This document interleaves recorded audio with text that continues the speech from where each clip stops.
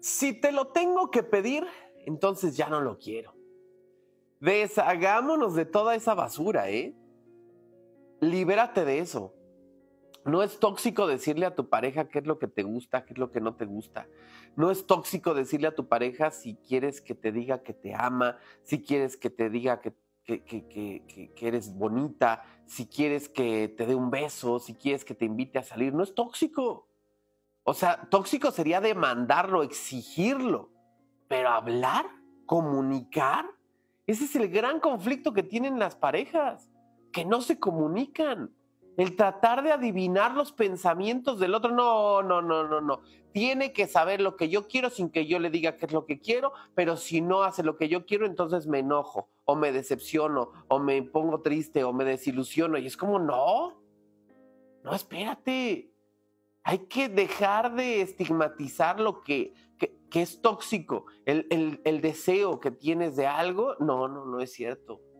Tóxico sería no decir algo, pero esperarlo.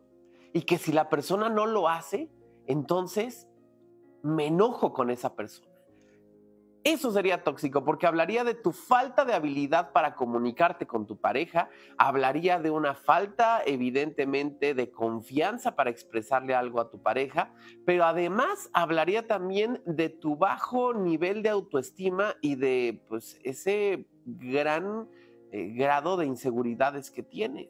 Así que dejemos de decir que las cosas son tóxicas, claro que no, no tiene nada de malo comunicarte, no tiene nada de malo confiar, no tiene nada de malo respetar, no tiene nada de malo tener afecto hacia una persona. Por supuesto que no. Así que deja de estar diciendo, no, si te lo tengo que pedir, ya no lo quiero y mejor ponte a actuar, ponte a comunicarte. No esperes a que te lean el pensamiento. No existen los poderes de telepatía a lo mejor de repente se desarrollan ciertas habilidades de conexión en la pareja que cuando se llevan también después de un tiempo pueden empezar a intuir cosas, ¿no? De, ah, ya sé que va a querer esto, ah, ya sé que va a querer lo otro. Pero de eso a exigir que tu pareja te adivine el pensamiento, no.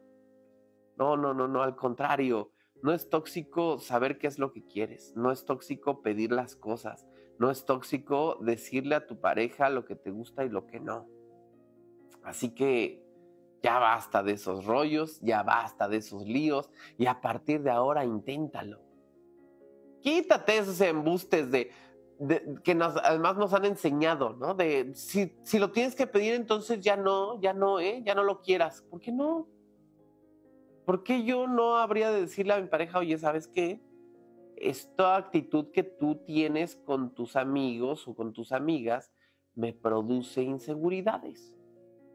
¿Por qué no? O sea, ni siquiera es responsabilizarle a esa persona, decir, tú me estás engañando. No, simplemente decir, oye, el hecho de que cuando un cuate te pregunte si tienes novio y que no quieras contestar, me produce una inseguridad porque pareciera que me estás escondiendo. Y eso no me hace sentir bien. Entonces quiero pues, pedirte que no se trata de que salgas y que tengas que hacer un, un comunicado, ¿verdad? Pero sí que si alguien te pregunta, pues seas honesta, porque si no a mí me hace sentir mal. O, sea, no tiene nada de malo. De verdad. E, entiendo el punto de que si alguien te está negando es porque que se está ocultando, pero por otro lado hay veces que las personas no les gusta hablar de su vida privada. Y lo entiendo, ¿eh? Entre más privado esté lo privado, menos gente lo sabotea. Así que olvídate de patrañas, diviértete, comunícate, respétate. Y eso de que si te lo tengo que pedir ya no lo quiero, al contrario. Si lo pido y si lo quiero. Y si no me lo das aún pidiéndolo, entonces ya no sé qué hago aquí.